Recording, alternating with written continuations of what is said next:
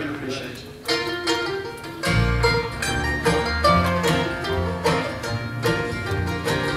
In the Bible it is wrote about the disciples in the boat.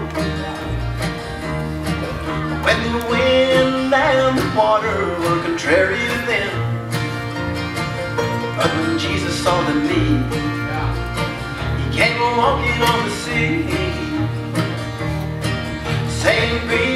Of good cheer, it is I, be not afraid.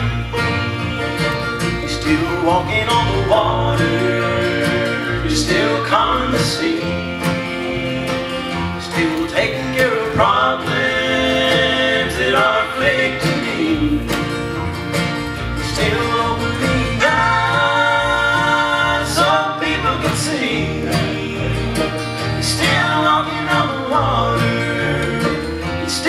Coming to see.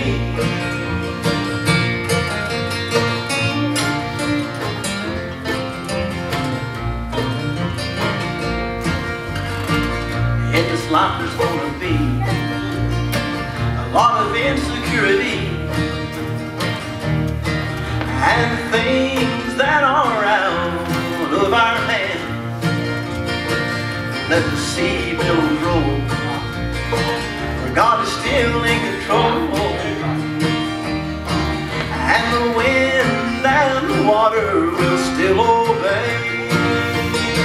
He's still walking on the water, he's still calming the sea.